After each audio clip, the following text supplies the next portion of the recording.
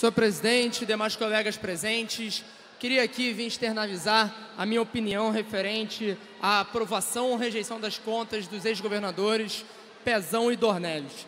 Presidente, eu acredito que a gente deve tratar isso com muito compromisso e seriedade. Cada um aqui tem a sua consciência e sua forma de enxergar essa questão, mas para mim é algo muito claro.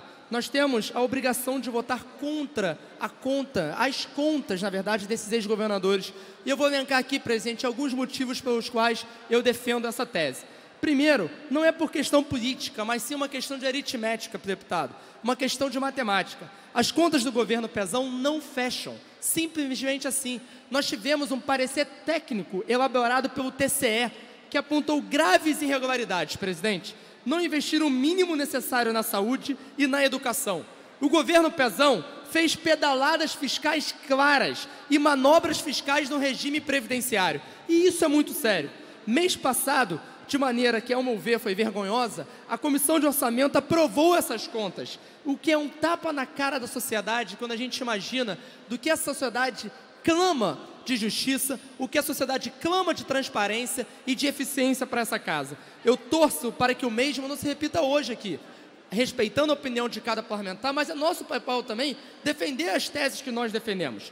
Quem diz que o Estado do Rio de Janeiro recebeu uma herança maldita, da qual eu concordo, do governo anterior, tem obrigação de votar contra essas contas.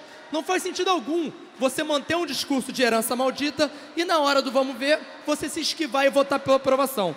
Quem diz que preza pela análise técnica e por políticas baseadas em evidências, também tem que votar contra.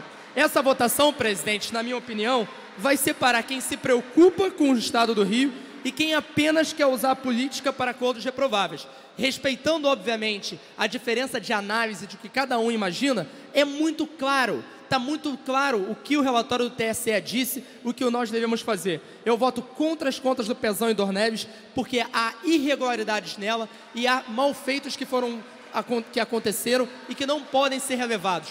Só quando a gente virar essa página da corrupção e da má gestão é que o Estado do Rio de Janeiro vai decolar. Obrigado, presidente.